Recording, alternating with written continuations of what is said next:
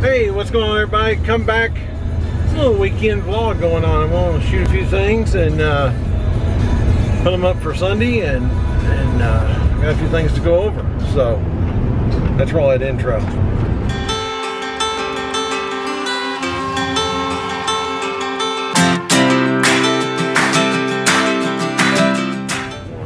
What's going on everybody? It's Patrick Mid TN Outdoors. Welcome my outdoor crew to a weekend vlog. Yep, I'm to vlog a little bit today. Um, put this up on Sunday. Sunday we're probably to be out on trail somewhere because it's supposed to be nice 60 something degrees and no rain. But that still is probably to mean the trail's to be a little e muddy. It's all right though. We have a special guest that's in the house. If you follow me on Twitter, if you follow me on Instagram, and if you follow me on Facebook, Mid TN Outdoors, all the links are in the description and, and a couple other places here on YouTube's. Uh, you will know that Mr. Taco Cat has made it to Middle Tennessee. Came from Kansas Junction, Junction City, Kansas. If I'm saying that wrong, I'm sorry. But uh, made it from Kansas, made it just fine. He is happy and hanging out with family. Chloe is in love with him. And uh, like I said, if you saw the picture, as a matter of fact, I'll throw a picture here of Taco Cat hanging out on the couch with us. And here's a picture of Chloe hugging Taco Cat. But um, I'm hoping to take him on a couple of different adventures while he's here. And then he will be moving on to the next person in line. There's a little bit of a line for him right now. Uh, three other people after me that want to hang out with Taco Cat. So, anyway, um, probably gonna take him hiking tomorrow because he likes hiking. Um, but I may enter, and he's been camping before on the AT, so may take him camping next weekend. We'll see how that goes. Uh, if weather forecast holds out to what it's supposed to, yeah, we're supposed to have another nice weekend. Might be kind of cool on Saturday, but warm up on Sunday. So I can handle that. He can handle that because he's a taco cat and he's been on the AT. He's been in the Badlands. He's a bad boy cat. So anyway, guys, give me just a few minutes. We'll be back at the house and we'll pick up from there. Okay, we're back from O'Reilly Auto Parts. Not, they don't give me any kind of discounts. Well, kind of do. Anyway, um, as far as wiper blades on my vehicles, I always run the Bosch. Um, love these things. Matter of fact, the ones that I'll show you here in a little bit on the truck now are Bosch. And they've been on there, I had to think about it, they've been on there well over a year, maybe two. And they're just done.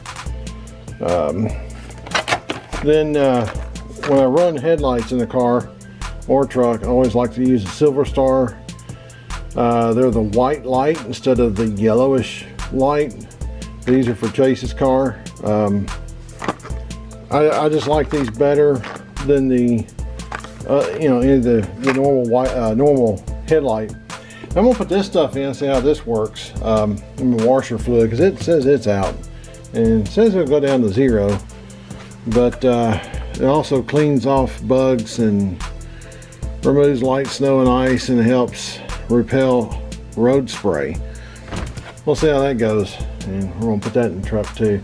But uh, let me get one of these wipers off. You gotta see this. I mean, this they're pretty, I didn't realize they were as beat up and done as they are, but they, they are.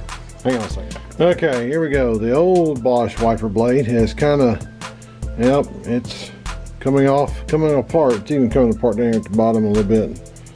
See it crack right in there. Trust me, it's there. So anyway, we're gonna go slap the new one on. Um, what I like is they got rid of this little flop door here. You have to push it up and over. This one just locks in. like that a little better. But I've always run these Bosch blades and love them. I've never had problems out of them. They're the Spectrum Direct Fit. Um, so yeah, let's go get this thing stuck on. And uh, we'll do the driver side on uh, my truck.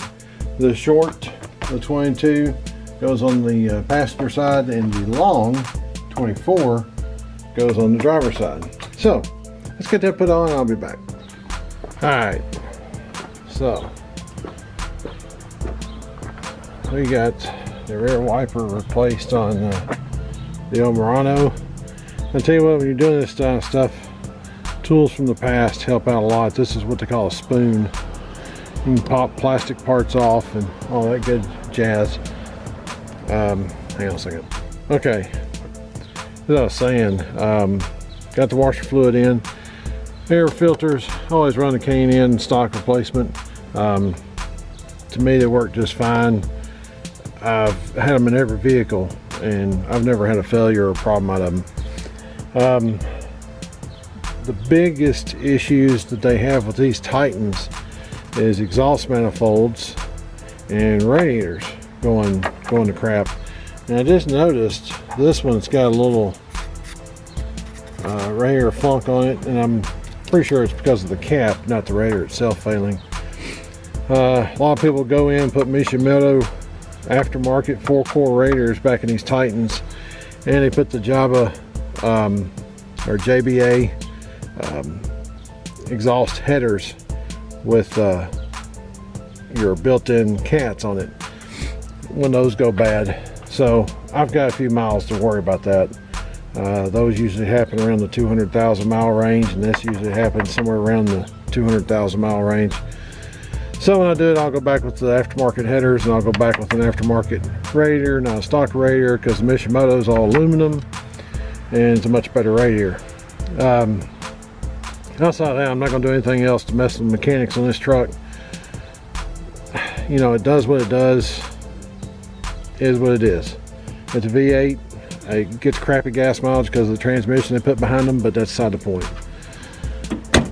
Got the new Bosch wiper blades on it, as you can see. So she's good to go. A little piece of trim right there. I'm gonna see if I can get a replacement piece because that one's kind of messed up. Eh, truck is 10 years old, so it's got a couple issues here and there, but outside of that, the rest of them are pretty good. Um, grill's still working great for me. Thanks to Chase for the Father's Day gift.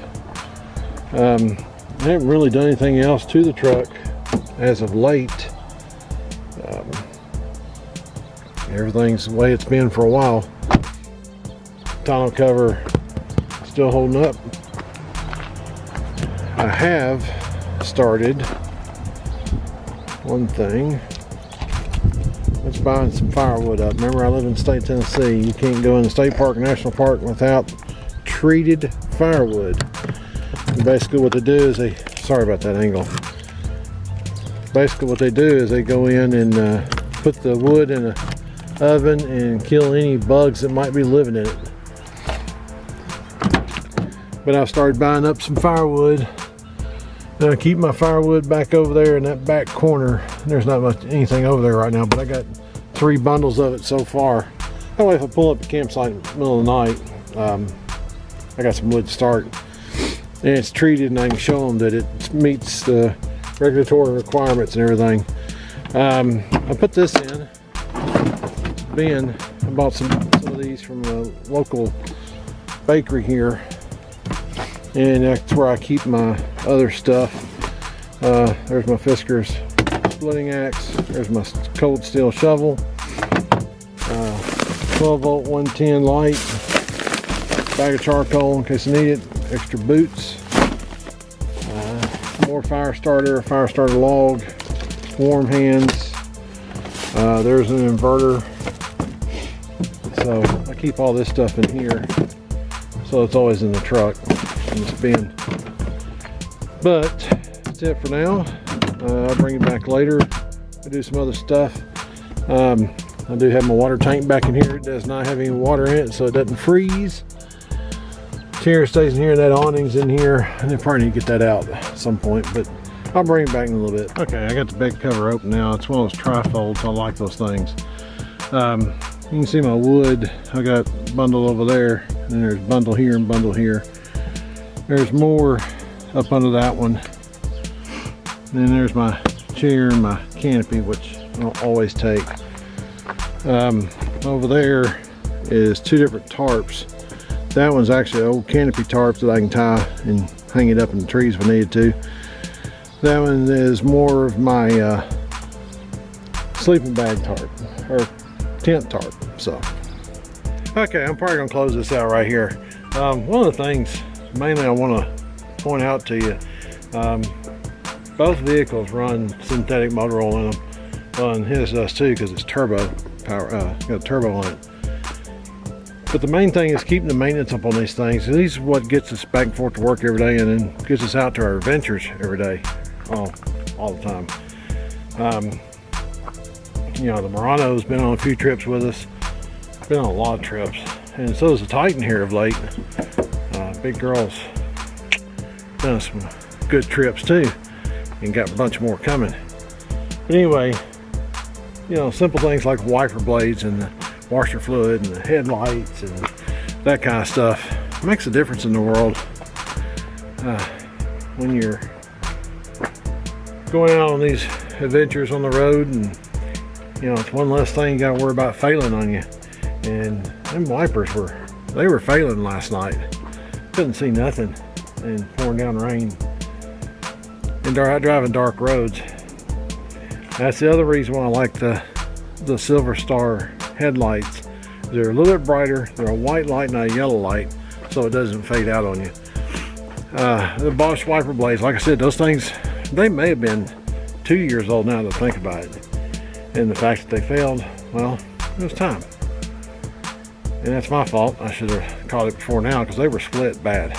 So anyways, guys, that's probably going to be it for today's vlog or for today's video uh, get this edited up and put it up for tomorrow and hope you have a great Sunday.